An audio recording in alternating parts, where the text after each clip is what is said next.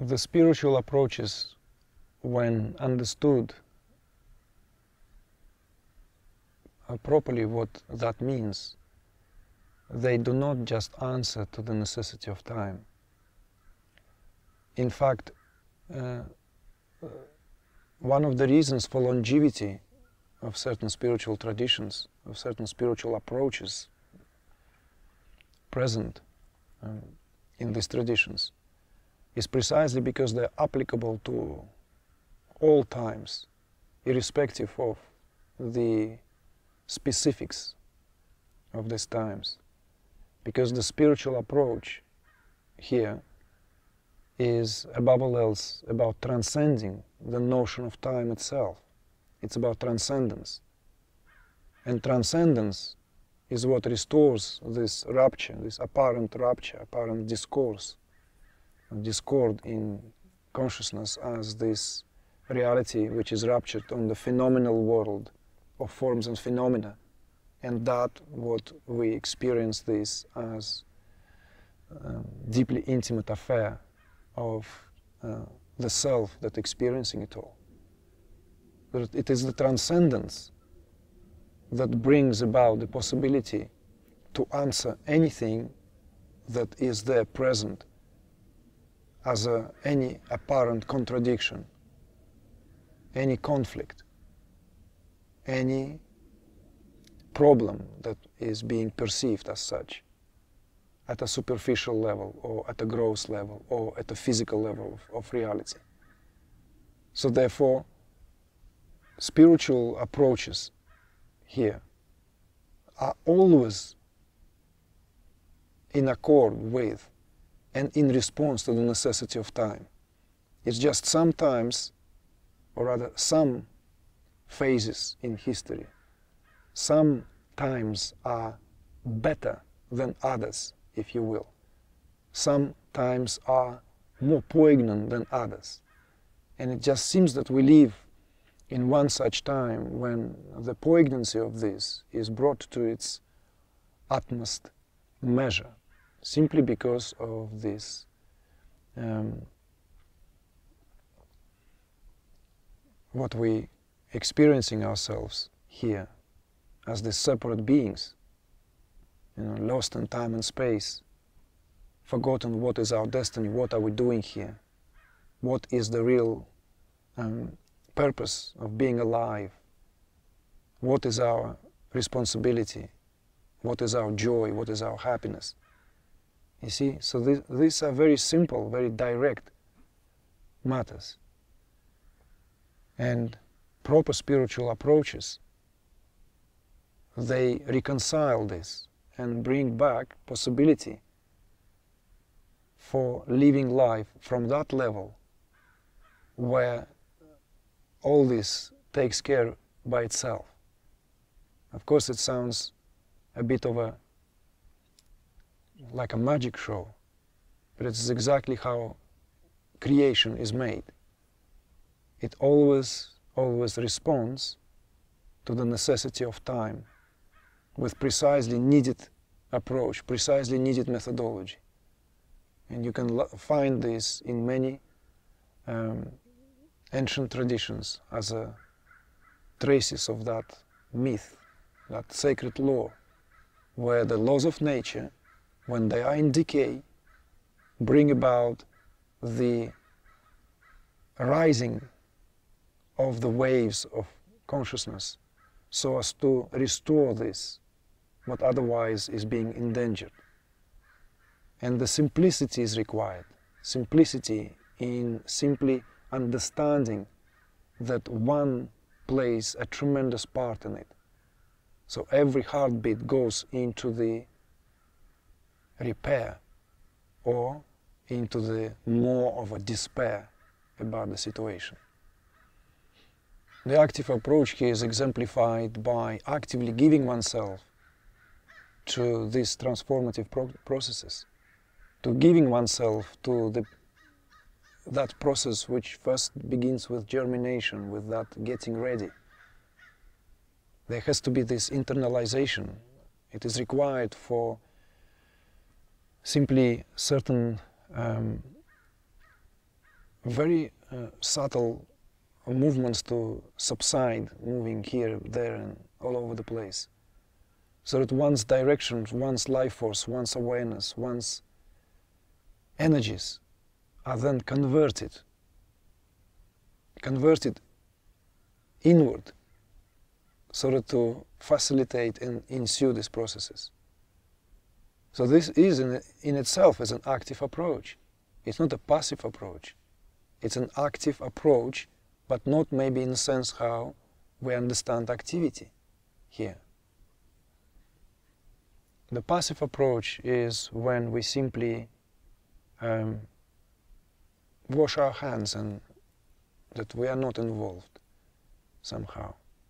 Okay, or, or there's this um, perspective that what can I do? I'm too small, I'm too puny, I'm an insignificant human being. Or um, what's the point of it all?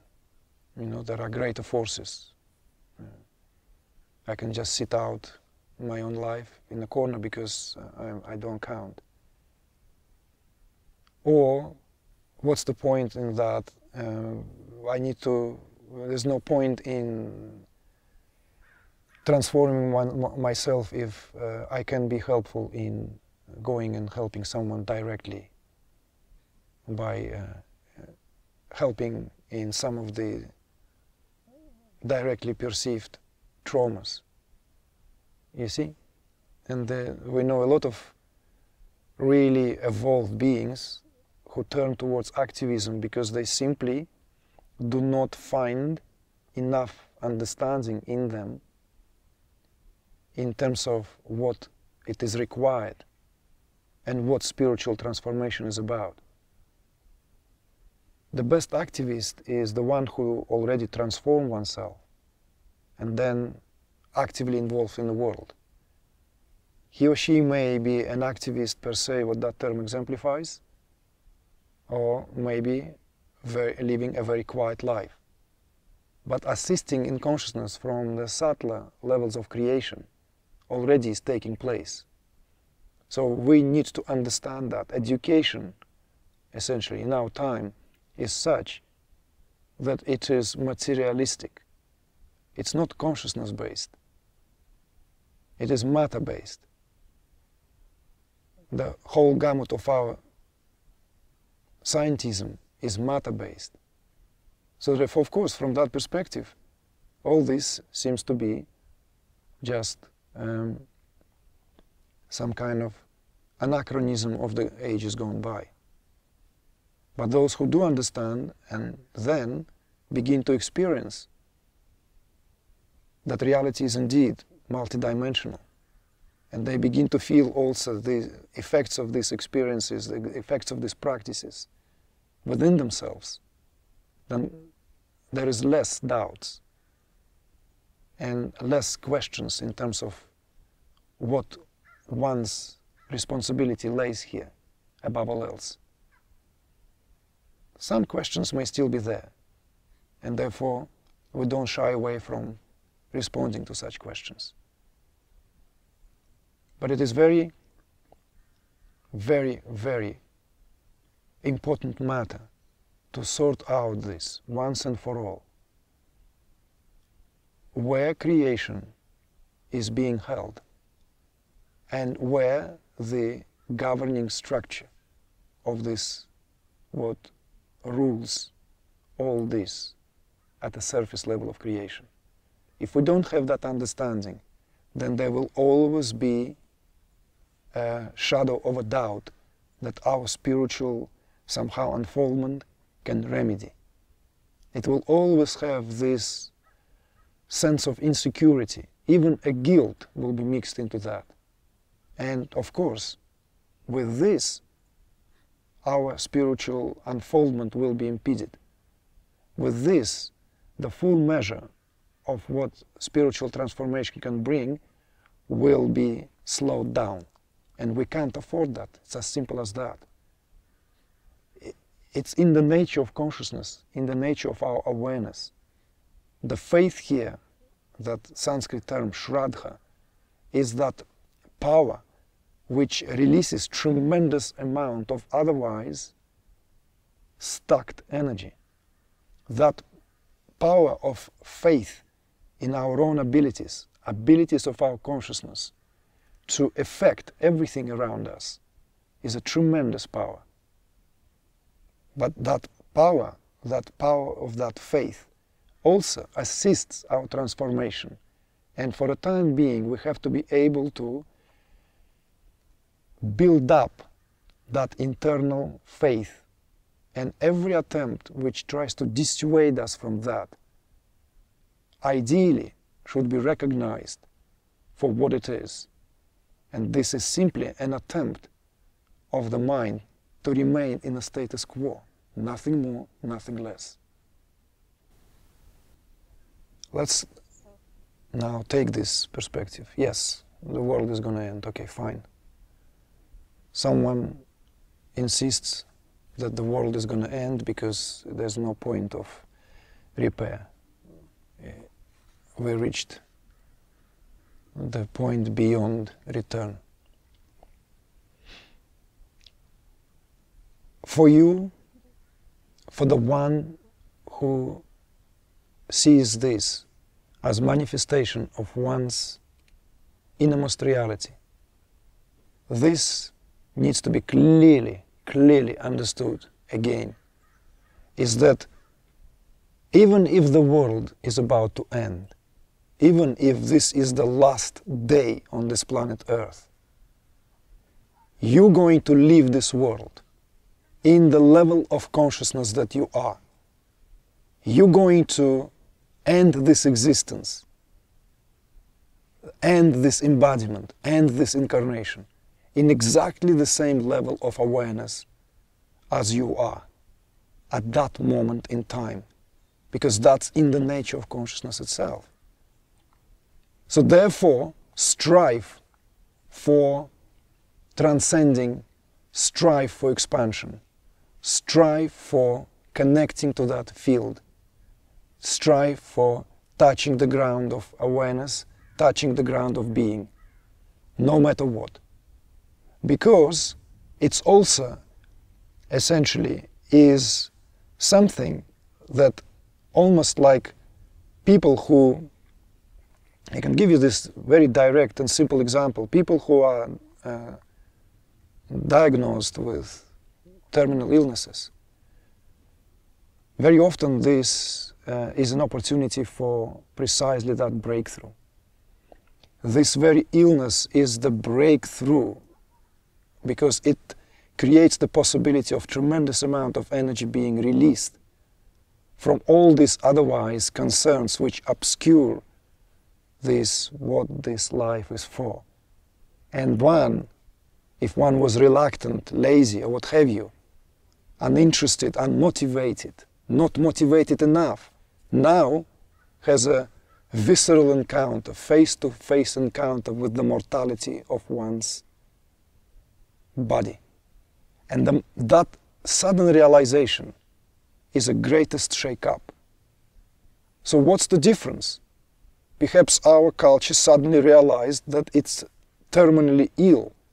It's realized in a certain way that there is this indeed something that threatens potentially extinguishing this life here. Use it as an opportunity for leap in your awareness. Use it as an opportunity to transform this pain, to transform this fear into expansion of your consciousness. Because if you jerk back and take the stand that, well, nothing makes sense, then you remove yourself from the possibility of simply exercising that what is given to you on the account of being a conscious being, being alive as a conscious being.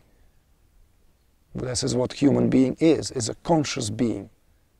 Human being is the one in whom consciousness is alivened to the degree where it can have this direct experience direct abiding in being, as being. So, even from that perspective, even if one will take this utterly, utterly uh, dramatic, pessimistic perspective of the imminent apocalypse, even that should only add to the fervor of your transformation rather than um, simply disarm you and to completely incapacitate you in, in your greatest gift of what this is, this gift of being able to transcend this reality. But if you don't accept this, if you don't embrace this perspective that the world is about to end as a someone's prediction, even based on some kind of statistics, then there is essentially you have to simply also remind yourself that whatever you experiencing is going to come to an end. One way or the other, there will be the end of you in this form, in this body. Just as when in the Bhagavad Gita, when Arjuna receiving all this guidance from Krishna, wants to clarify something on the nature of these transformative practices. He is asking, so what happens to the one who hasn't reached enlightenment in this lifetime? The body it perishes before that enlightenment, so to speak. And the reply is there, a reassuring reply that everything, everything that one has reached here is all that one is. The totality of one's being is that level of consciousness which is at the moment of when the time of departure has come. So whatever is the next incarnation, whatever is the next body, whatever is the next life, it will be at that level of consciousness, from that level of consciousness. Whatever form you may take, it will be that consciousness. You see? So one way or the other, whatever perspective we here embrace or negate, one way or the other, it is your duty and it is your glory at once. Somehow this understanding that the biggest changes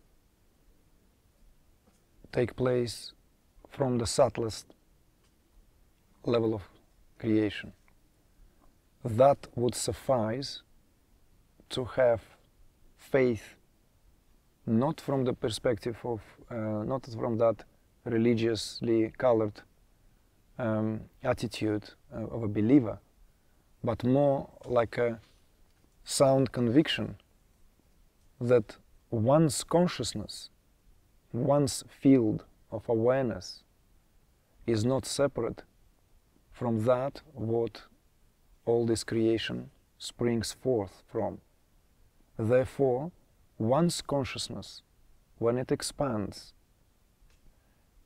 when it vibrates at a much finer level, can bring about not just some positive vibrations into the environment, but can, it can actually and factually assist often radical changes that are required in uh, terms of this very, very poignant moments in time um, when there is this shift in paradigm and when there is a necessity to transit from one platform of understanding, from one ideology, from one perspective on life, to that which supports all life, so that no aspects, no parts of culture in conflict with each other but are expressive potentiality of that culture where they coexist in harmony with themselves, with the environment, and with the whole world. So this, of course, cannot come just from the level of a wishful thinking. It cannot come from the level of trying to imagine, trying to be mindful, to um, find the solutions on the level of how to change the culture, because that change will come only from the superficial level of the gross level of expression already. Because mind, it's only that conscious level of thinking. It can only think and utilize what is available to that conscious level of the mind. But if we are not taking into account that there are other levels where the mind itself finds its provenance, where the mind itself find its, finds its strength and inspiration, then unless that mind expands into this much finer dimensions of reality, then these possibilities will not be presented. Therefore, the attitude of a spiritual aspirant, the attitude of a spiritual being, should be steeped in this understanding, which starts, begins from the get going, that his or her awareness, his or her consciousness is inseparable from the consciousness of all, from the consciousness per se, from that which knows no other, from that unified field. When that understanding is there, then awakening, of course, it's not just existential affair to go beyond one's own limitations. It's just half the picture, maybe even less than half the picture. It's just a certain, deeply intimate perspective. But awakening then presents a factual opportunity, a possibility, where that otherwise awareness, individualized awareness, that is what the average human being um, has, can expand to the dimension of other dimensional realities which encompass all different and subtlest level and subtlest strata of creation. From that level, that individual is not only can think from a qualitatively different level, but above all else can intuit reality from a very different level. Intuiting reality from a different level, that being or the consciousness of that being can begin to bring changes into this level of reality, not in terms of moving something from one place to another, not in terms of creating this possibility of, okay, this procedure didn't work, we'll replace it with that procedure. It, will, it can come up with something which is not even in the language and not even in the capacity of the given culture of how to deal with certain predicament, with certain problem, because the solution can only come from a place when there is more consciousness. And we cannot stop just there. And of course, this will be um, giving it um, a high shot, but we should not discard that possibility because it is always present, it is always here as a given, that when, a, when the individual consciousness can expand to its fullest potential as that what is exemplified by that unified field, then the consciousness of that individual, who is no longer simply individual, it, experiences are there very much of the experiences of the individual, obviously, but the consciousness of that being vibrates at such frequency that it begins to bring this otherwise dormant laws of nature to the level of manifestation so the fabric where it is teared begins to be repaired not at the visible, not at the gross level of creation. It begins to be repaired at a subtler strata of creation. When that happens, then as reality vibrates, everything is a field of vibration, everything is this ocean of sound. And the gross manifest level of creation is simply known as different degrees in sound condensed, so different degrees of sound condensed as matter, yes. So this matter can also be seen as simply, simply uh, degrees of these sounds, degrees of that. If that is true to the um, material world, perceptible through the senses, how much more so in terms of one's feelings and thinking, in terms of one's um, emotionality and in terms of one's uh, essentially powers of intuition.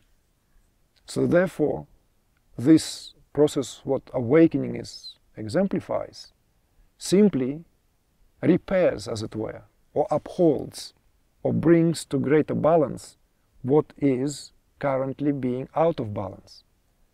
And I'm not even speaking now from that ultimate perspective of that there is no world out there outside of our perception.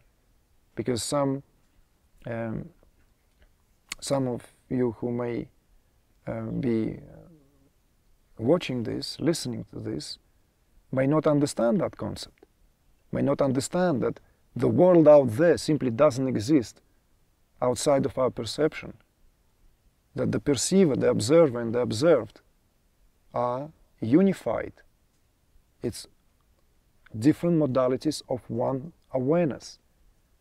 So there is no such thing as objective experience out there, objective reality outside of our subject which experiencing it. So supposedly we have this understanding that uh, our being here uh, obviously is an affair in consciousness, but our being here, this uh, phase of human being, is just uh, was kind of some a phase, a transition, perhaps uh, a trial and error in consciousness. Yeah, I hear you. And I've heard about these perspectives before. It is being spoken out loud that we're here, it didn't work, so it's no big from the bigger perspective, and it's time for us to go. We simply failed. Not that we are failed, obviously, because the question already states that this is an experiment in consciousness. So, if the question comes from that understanding, that what I would invite you to examine here is a simple contradiction, is that if we are indeed an experiment in consciousness, then it means that that what is an experiment itself is, insepar is inseparable from our own awareness, from our, our own consciousness. That e experiment here uh, will otherwise, this whole notion of the experiment will turn us into some kind of, um, I don't know, biological robots, some kind of humanoids who simply here uh, to prove their longevity or to prove their incapacity to be to be in sync with the rest of creation, given this whole possibility of uh, sensing, thinking, creating, interacting, relating, evolving, and so forth. This perspective can be easily um, debunked because whatever is happening in consciousness, we are not separate from, separ separate from it. So we can see that the whole creation is an experiment in consciousness. What is one's attitude would be to that? One way or the, the other, that um, kind of stand or stands that if human affair of being alive here in this moment in time is um, some kind of uh, transitory phase in terms of what consciousness came up with, then first of all, uh, that in itself should free one from any worries and concerns because one's consciousness is indestructible. So whatever form it will take, your consciousness is there. It's inscrutable, it's indestructible, it's imperishable. So whatever form, whatever form it will take, whatever life, we call it human today, tomorrow we might call it something else. But question of course comes from a very human perspective. That's what makes it into a question. It comes from a very human, humanistic even perspective. So what if we are this experiment? Then what of us? What do we do? So then again, we have that choice. We have that choice to continue that, even if that is an experiment, and see how far we can go with it. So if we are to take that stand, that we are indeed an experiment in consciousness, we are, we are indeed this phase in evolution. What do we do about that? Do we take it from the perspective of um, there's nothing for us to do here, that um, our part is simply to be the puppets and not to um, even bring into the actualization uh, that um, hidden dimension of what we are at the most refined level of our beingness here. So yes, okay, fine, we are this, we are this experiment in consciousness. Let's take that stand, let's take that view. Do we know where the experiment began? Do we know where this experiment ends? Why should we take the fact that there is this um, catastrophic picture that is being painted by some of our um, earthlings, or some of our brothers and sisters, that this is essentially somehow the end of reality as we know it, or the end of our reality as we know it, the end of this phase in civilization. What if this is one of those boiling moments in the experiment? What if this is a critical mass? What is this? What if this is indeed where the shift in consciousness takes place? Not shift in just uh, public awareness that, oh yes, we need to do something. Oh, okay, it's too late to do something. It's the same perspectives, can't you see? Just recognize this to be the same perspective. The, the actual nihilism, if we truly look into that, is already loomingly presenting itself in that perspective that this is the end of the world. How many of these people have ever entertained possibility for another, another scenario? How many of these beings who paint this very gloomy picture even understand the basis behind this creation? How many? Do we have that picture? Do we have that understanding? Do we have these facts? We don't. And we cannot essentially place this very, very intimate relationship we have into the hands of those who present us with this picture. It has to be our own picture that we paint for ourselves. You have to be, as a spiritual aspirant, an independent thinker. If you don't become an independent thinker, then you will be thrown here and hither and thither in terms of the perspectives. And that, of course, will not assist anything. It will not assist any process. You will be simply thrown around with different perspectives. First, you have to get that there has to be independence in your stand. Then even if you are an experiment in consciousness, you have to go all the way in that experiment. You have to have the courage of your own conviction. And when your awareness, when your individual field is affected by the downright negative perspectives, and these negative perspectives, this um, domineering factor of uh, life lived in fear has been with us for quite some times. there is constantly this something that we essentially um, confronted with. And that what we are confronted with is this deep existential fears that then brought to the surface level of affairs with that eminence, eminent possibility of apocalypse, of the end of, of it all. So in other words, this ultimate fear is being exercised. This ultimate fear is being then the reason not to commit yourself to that what can uphold this at the tipping point of it all. So one of the responsibilities of the spiritually oriented, spiritually minded being is to be free, independent thinker. So that one is no longer swayed by what others are saying, presenting facts and so forth. One have to be unmovable, unshakable in the understanding that one's consciousness is not separate from the universal consciousness.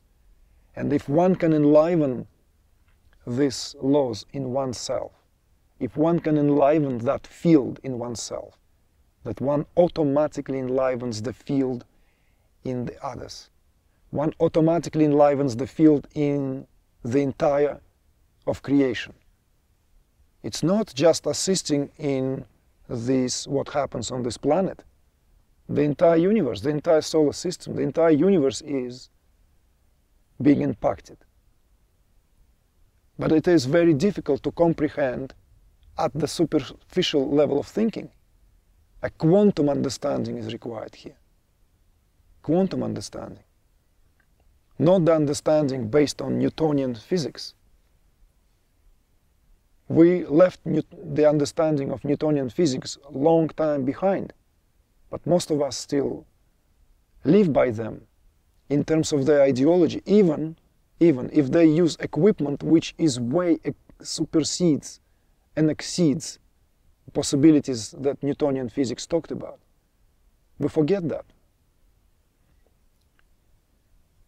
So, really, this experiment in consciousness um, is exactly what every spiritual, sincere aspirant embarks on. Precisely that experiment. So that one can enliven that field within one's own awareness.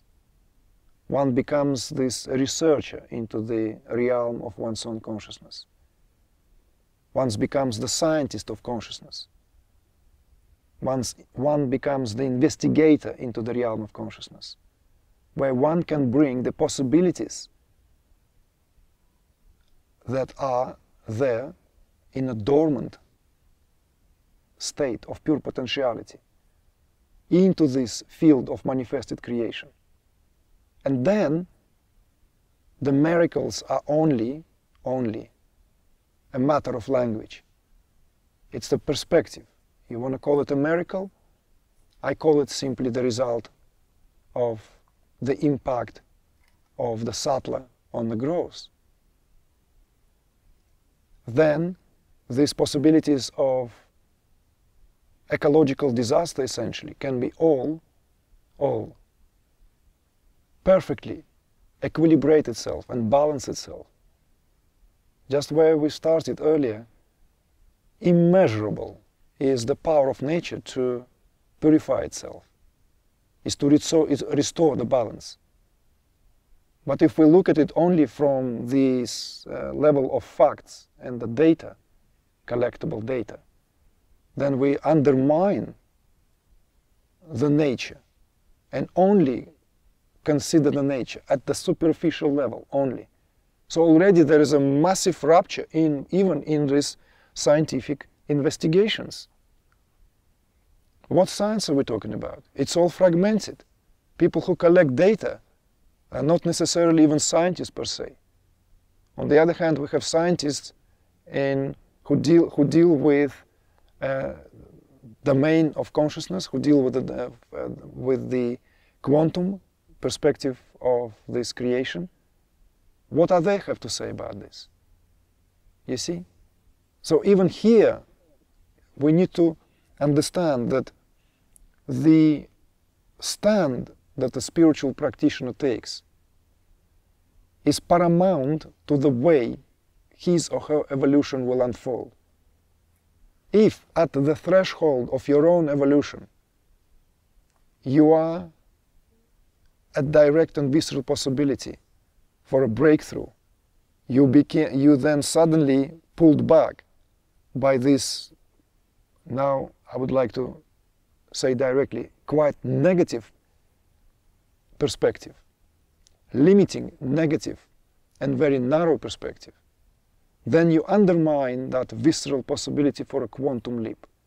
You undermine that possibility for a breakthrough that can take place in you. And that breakthrough that can take place in you, in another, in myself, in all of us, those who gave themselves to these practices. They are holding that newly awakened consciousness at the tipping point of their awareness. And that tipping point here is what is needed so that the equilibrium is restored. Nature then quite naturally performs everything what needs to be done. And all the ozone layers will be restored and all the aquatic waters will be purified. Not purified by some magical being in the clouds or by some kind of uh, abstract notion of the divine.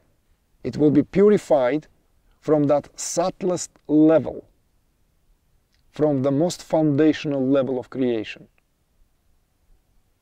But many people, when they give themselves to these practices, they evolve, expand to a certain degree, and then they often being pulled into this argument, into this essentially argument which is there just diverts the precious life force from the real transformation into the field of some argumentation. And forgive me, very often that in itself is simply based in that righteousness of perspective. Many of these argu arguments are simply indispensable from spiritual approaches if they are rooted in truly transformative practices, transformative, trans transformative practices which uh, viscerally, factually transform the psyche, the consciousness of a being, that that being can directly get in touch with the field of being and live from that being, then all there is what, what needs be done. All there is, that's what is required.